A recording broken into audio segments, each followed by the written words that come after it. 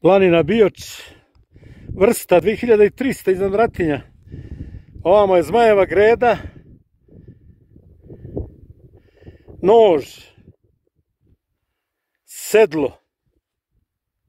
Samar u stvari. Samar. Iza mali vitao. Iza. Ispred nas.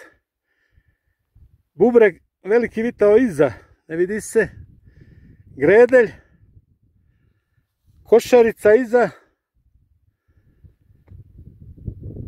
iza volujak, najviše vrhov lasulja 2366, ovamo je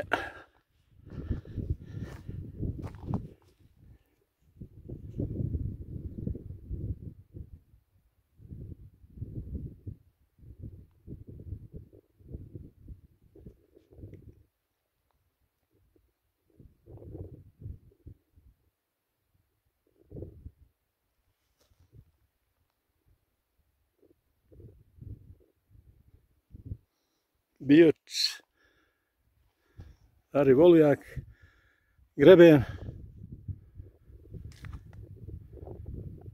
Maglić.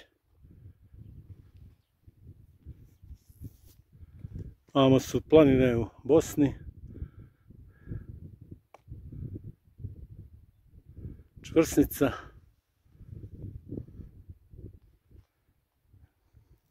Učevo, Visorava.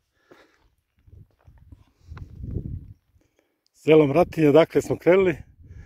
Sa 850 Piska planina.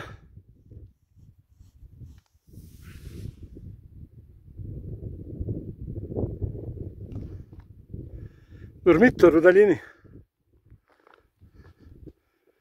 I da se vratim. Na ovaj vrh to je Trzivka 2333 iznad Trnovačkog jezera, a ovo je Trnovački dormitor. Znači to je to.